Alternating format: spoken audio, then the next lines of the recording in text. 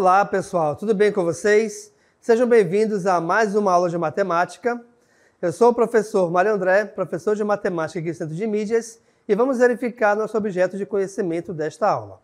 Nós temos aqui então aula de número 19, objeto de conhecimento, identificação e descrição do espaço amostral de eventos aleatórios e cálculo de probabilidade, detalhamento, espaço amostral de eventos aleatórios, ok? Então, dito isto, vamos dar início à nossa aula.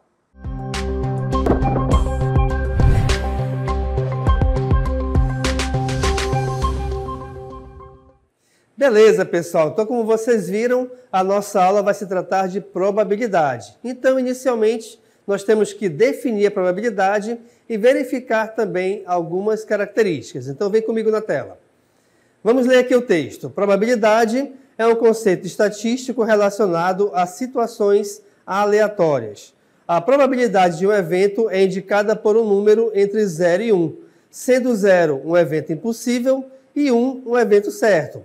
O cálculo da probabilidade de um evento é realizado pela razão entre o número de casos favoráveis ao evento e o número de casos possíveis. Então, o que acontece? A probabilidade é a chance de acontecer um evento, tá? Agora, é importante lembrar que não necessariamente aquele evento ele vai acontecer ou vai deixar de acontecer. O que a gente vai calcular aqui, o que a gente vai verificar na verdade, é a chance de um evento acontecer ou não, tá bom? Agora, para que a gente possa calcular a probabilidade de um evento qualquer, é importante a gente saber também definir alguns elementos importantes pertencentes a ela. O primeiro deles é o experimento aleatório. Então vem comigo aqui na tela, olha só. Experimento aleatório que, ao ser realizado várias vezes nas mesmas condições, ainda assim gera um resultado imprevisível. Estamos cercados de experimentos aleatórios no nosso cotidiano. Por exemplo, ao realizarmos o lançamento de um dado comum, ainda que seja possível calcular a chance de cada um dos resultados ocorrer, é impossível termos com precisão o resultado do lançamento. O que isso quer dizer então, pessoal? O experimento aleatório a gente tem vários no nosso cotidiano.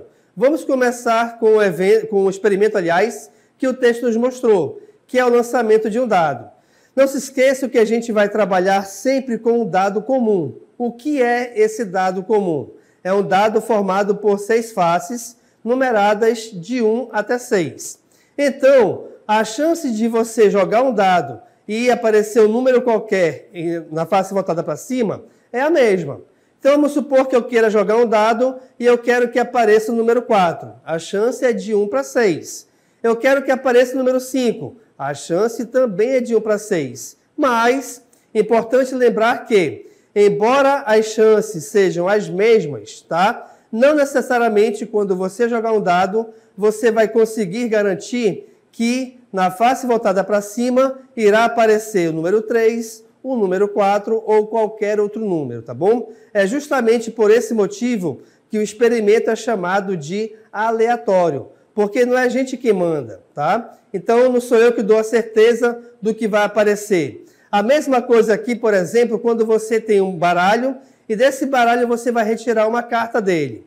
Nada garante que a carta que você retirar seja a que você está pensando, tá bom? E a mesma coisa também pode acontecer para outros vários tipos de jogos, como xadrez, damas, entre outros, tá bom? Um outro é, elemento importante da probabilidade é o espaço amostral. O que é o espaço amostral? Vem comigo aqui na tela. O espaço amostral é o conjunto de todos os resultados possíveis de um evento aleatório, conhecido também como conjunto universo o espaço amostral pode ser representado pelo símbolo grego ômega. Em um experimento aleatório, conhecer o espaço amostral é essencial para que a gente consiga calcular a probabilidade desse evento acontecer. Então, o que acontece? Cada experimento ele possui o seu espaço amostral específico, pois ele é formado por elementos diferentes. Então, por exemplo, nós temos aqui o lançamento de um dado. Vem aqui para a tela comigo. Nós temos aí vários dados, tá? Bem, a gente vai desconsiderar esses dados que estão mais à nossa esquerda. Por quê? porque eles são dados específicos, por exemplo, de jogos de RPG. Então nós temos aqui um dado com 20 faces, um dado com 12 faces, um dado com 10 faces, um dado com 8 e um dado com 4. A gente vai trabalhar especificamente com o chamado dado comum. Então, esse que eu estou destacando aqui em verde. O que é o dado comum? É o dado que você está acostumado a ver, pois ele possui seis faces, cada uma delas enumeradas de 1 até 6. Quando a gente for definir o espaço amostral, eu tenho que determinar os elementos que pertencem a esse espaço. Como nós temos aqui então um dado com seis faces, logicamente o nosso espaço, o nosso espaço amostral vai de 1 até 6. Então, por exemplo, é importante você verificar que, quando trabalharmos com um dado comum, nesse espaço amostral, os números de 7, 8, 9 em diante, eles não farão parte desse espaço amostral, justamente porque o dado comum só vai de 1 até 6, ok? Vamos voltar para a tela então. Então aqui, é importante você verificar também que esses dados que eu risquei em vermelho são dados de RPG. Mas, professor, a gente então em nenhum momento vai trabalhar com algum tipo desses dados? Vai. Mas quando, por exemplo, você for trabalhar com um dado de 20 faces, a questão ela tem que especificar que, naquele exemplo, o dado trabalhado é exatamente o que possui 20 faces. Assim como também ela tem que especificar se, por exemplo, na questão for utilizado um dado de 12 faces. Se a questão não especificar a quantidade de faces que o dado possui, é porque então essa questão estará tratando de um dado comum, ok? Um outro experimento aleatório é, por exemplo, o lançamento de uma moeda. Uma moeda, logicamente, ela possui apenas duas faces, cara e coroa. Então, esse é o espaço amostral ao lançarmos uma moeda. Mas, professor, cara e coroa não são duas palavras que começam com a letra C? Com certeza. É por esse motivo que a gente especifica aqui, diferentemente, o K e o C. E essa letra K, ela sempre tratará da face cara, ok? E a letra C, da face coroa. Agora, é importante aqui verificarmos o seguinte, pessoal. Você tem que especificar, aliás, você tem que esquecer das especificidades. Você tem que esquecer dos pormenores. O que eu quero dizer com isso? Por exemplo, é possível, ao lançar uma moeda, que ela caia em pé? Ou seja, nenhuma face vai aparecer? Com certeza é possível, mas aqui para matemática a gente esquece isso, tá? Então a gente sempre tem que considerar que você vai lançar uma moeda e sempre vai aparecer uma face voltada para cima, seja essa face com a cara ou seja, seja essa face com a coroa. Belezinha? Vamos voltar para a tela então. Um outro experimento aleatório é o nascimento de uma criança. Então, logicamente que ao nascer uma criança, nós temos duas possibilidades também. Ou vai ser uma menina, vou chamar aqui de MA, ou vai ser um menino, vou chamar aqui de MO. Não existe nenhuma outra possibilidade, tá? De ao nascer uma criança que não seja menina ou menino, tá certo? Um outro experimento bem comum também acontece em jogos de programas de auditório, onde eles envolvem roletas. E aí a gente tem vários tipos de roletas diferentes. Nessa específica, ela vai também possuir o seu espaço, o seu espaço amostral específico. Vamos a ele? Vem comigo na tela então, olha lá. Essa roleta é importante você verificar, primeiramente, o maior número pertencente a ela. E esse maior número é justamente aqui o número 9. Se esse número 9 é o maior número, então o espaço amostral dessa roleta são números que vão de 1 até 9, tá? Agora, não se esqueçam que, dependendo do tipo de roleta, a gente vai ter espaço amostral diferente. Então a gente pode ter roletas que vão de 1 até 9, roletas que vão de 1 até 6, roletas que vão de 1 até 20, enfim. A gente tem várias quantidades diferentes, tá? Agora, um outro elemento muito importante na probabilidade é justamente o evento. O que, que é o evento? Vem comigo na tela então, olha só. O evento é qualquer subconjunto do espaço amostral. O evento pode ser representado utilizando-se notação de conjuntos, ou seja, por letras maiúsculas. Geralmente, o evento é o conjunto de resultados satisfatórios, ou seja, é um subconjunto do espaço amostral que contém os elementos com os quais se calcula a probabilidade. Então, pessoal, o que é importante você verificar aqui nesse texto? Que o evento ele sempre vai depender do espaço amostral. Então, geralmente, o evento ele possui elementos que pertençam ao espaço amostral de um determinado experimento, mas não necessariamente a gente vai ter eventos que tenham justamente esses elementos do espaço amostral. Por quê? Vem aqui na tela que eu vou te mostrar. Nós temos dois tipos importantes de evento. A gente tem o evento certo e o evento impossível.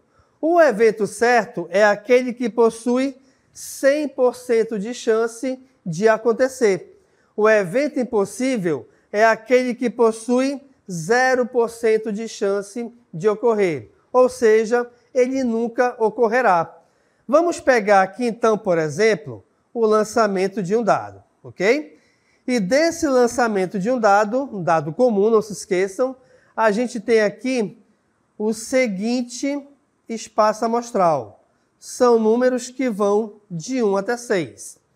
Vamos supor que a questão te peça o seguinte: qual é a chance de, ao lançar um dado, aparecer na face voltada para cima um número maior do que 7? Opa! Se eu quero maior do que 7, não se esqueçam que esse aqui é um evento que tem 0% de chance de acontecer.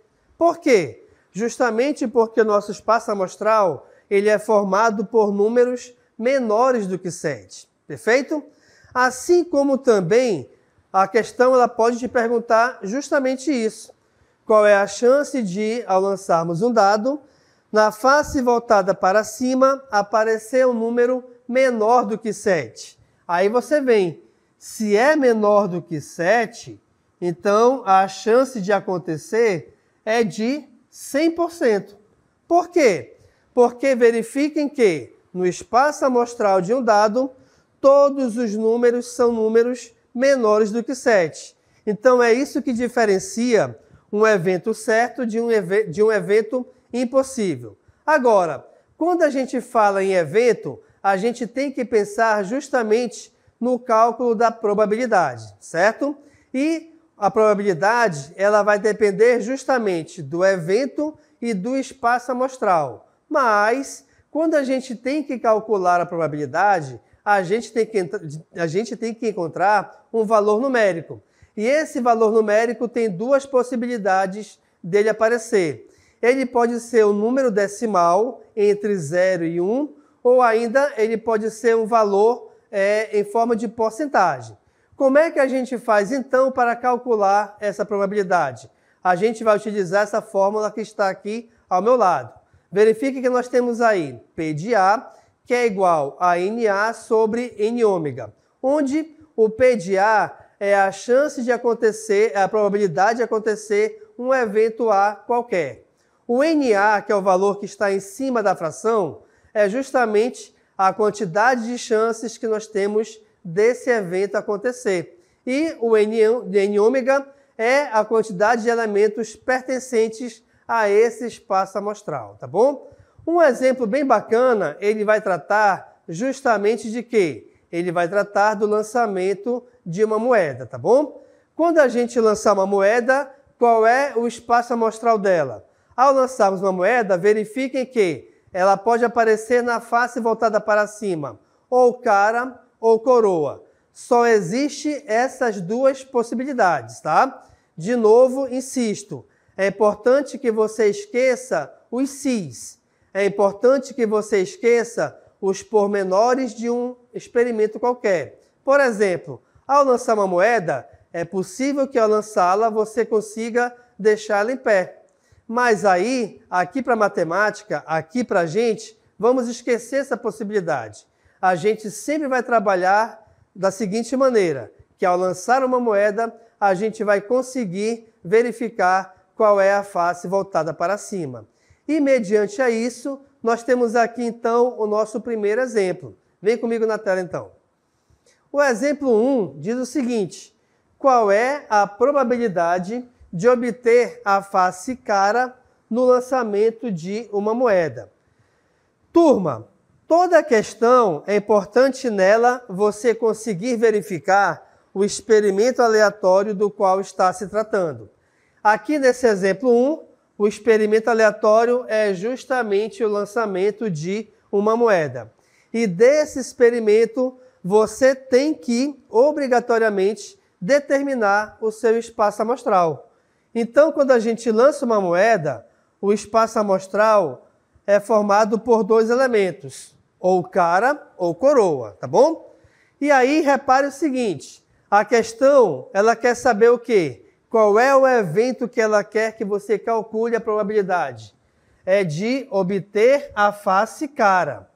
Nesse espaço amostral, verifique que aparece somente uma cara.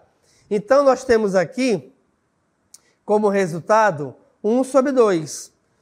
Por que, que a resposta é 1 sobre 2? Justamente porque o espaço amostral é formado por dois elementos, por isso que aqui embaixo tem o 2, e nesse espaço amostral só tem uma cara, por isso que aqui vem o número 1. Agora, quando a gente trabalhar com cálculo de probabilidade, assim como eu te falei anteriormente, pode ser que você tenha a necessidade de transformar essa fração em, em porcentagem. E como é que a gente faz isso? Vou te dar aqui uma dica bem bacana, repare. Eu tenho aqui a fração 1 sobre 2. Dessa fração, você vai pegar o número que está em cima e nele acrescentar dois zeros. Nesse exemplo, verifiquem que, ao acrescentar dois zeros, o que era o número 1 se transformou agora em número 100. E aí você vai dividir esse valor, você vai resolver essa divisão. Ou seja, 100 dividido por 2 é igual a 50. Então, nós temos 50% de chance também de, ao lançar uma moeda, na face voltada para cima, aparecer cara. Importante aqui o seguinte também, pessoal. Como nós só temos um espaço amostral do lançamento de uma moeda formado por dois elementos, a gente vai ter o mesmo resultado se a questão aqui pedisse qual a probabilidade de aparecer coroa tá bom? Por quê? Porque também só existe uma coroa ao lançar uma moeda. Então a gente tem a chance de aparecer coroa 1 sobre 2 ou 50%, tá bom? Vou até escrever aqui o ou, justamente para que você perceba que essa resposta pode ser em forma de fração ou ainda em forma de porcentagem, tá bom? Bem, um outro experimento aleatório bem importante e muito comum nas nossas aulas e quando você vai estudar é também o lançamento de um dado. Não se esqueçam que a gente sempre vai trabalhar com um dado comum, que é esse, opa, que é esse dado formado por seis faces e essas faces numeradas com números que vão de 1 até 6, tá bom? Agora, se os números são, se as faces são numeradas de 1 até 6, o nosso espaço amostral é de 1 até 6. Então não se esqueçam que o evento que a questão ela vai te pedir é sempre determinado por números que vão de 1 até 6. Por exemplo, a questão pode te pedir assim: qual é a chance de lançar um dado e na face voltada para cima aparecer um número par? Qual é a chance de ao lançar um dado e na face voltada para, cima aparecer um número menor do que 4? Então, não se esqueçam que o espaço amostral que você tem que trabalhar para resolver e determinar o resultado dessa probabilidade é justamente o espaço amostral formado de 1 até 6, tá bom? Agora, como é que a gente faz para aplicar isso na, ao resolver um exercício? Vamos aqui então que eu vou te mostrar um exemplo. Exemplo 2. Qual é a probabilidade de obter um número de 2 a 5 no lançamento de um dado de 6 faces? Pessoal, novamente insisto, é importante que, ao ler uma questão, vocês verifiquem de que experimento aleatório ela está se tratando. Aqui nesse caso, ela está falando do lançamento de um dado de seis faces. Então também é importante você ver que essa questão ela já está especificando a quantidade de faces. Ela quer seis. Agora, qual é o evento desse lançamento? Qual é o evento desse experimento? Ela quer que na face voltada para cima apareça um número que vai de 2 até 5. Então, pessoal, o primeiro passo aqui é justamente determinar o espaço amostral. Deixa eu só refazer aqui, ficou um pouco feio, tá? Vamos fazer aqui. O espaço amostral, ele vai, não se esqueçam, de 1 até 6. Tranquilo? Agora, desses números que vão de 1 até 6, quantos deles vão de 2 até 5? E aí eu vou destacar aqui em vermelho para ti, ó. De 2 até 5 eu tenho esses quatro números. Então agora ficou fácil. Qual é a probabilidade? Quem é que vem em cima? É a quantidade de elementos que esse evento pode ter. Como vão de 2 até 5, então nós temos aqui quatro números. O total de elementos pertencentes ao espaço amostral é 6, tá? Então a gente tem aí 4 sobre 6. Turma, a nossa resposta é essa. Mas deixa eu te explicar um negócio bem importante aqui. Quando a gente trabalha com fração, é muito importante que você verifique se essa fração é possível ser simplificada. Por que isso? Porque geralmente essas questões, você que está na terceira série do ensino médio, você vai trabalhar, vai estudar né, questões voltadas para Enem e no futuro próximo também questões voltadas para concurso público. E esse tipo de questão elas sempre serão na forma objetiva, ou seja, são questões que possuirão cinco ou quatro alternativas, onde você tem que escolher a correta. E se tratando de fração, sempre nas respostas, a fração que ali aparecer sempre será a mais simplificada possível. Então, vou voltar aqui para o exemplo. Nós temos aqui, então, como resultado 4 sobre 6. Como essa questão, como essa fração, aliás, é formada por, do, por dois números pares, a gente pode então dividi-la por 2. E ao resolver essa divisão, a gente vai encontrar o seguinte resultado. Em cima, 4 dividido por 2 é 2. Embaixo, 6 dividido por 2 é 3. Ou seja, a nossa probabilidade de, ao lançar um dado, e nesse, nesse dado ter a face voltada para cima um número de 2 até 5 é de 2 para 3. Não se esqueçam que também, tá? Ao, ao, se trabalhar com fração, a gente pode encontrar o resultado em forma de porcentagem. E ao trabalharmos com porcentagem, como é que a gente faz mediante a fração? Vamos lá. Esse 2 sobre 3, eu vou acrescentar dois zeros aqui em cima e resolver a divisão que aí aparece. Quando você resolver essa divisão, pessoal, o resultado que você encontrar já será em forma de porcentagem, tá bom? Então, essa divisão não é exata, então a gente vai colocar aqui ó, aproximado a 66,6%. Beleza? Então, eu tenho aqui duas respostas diferentes.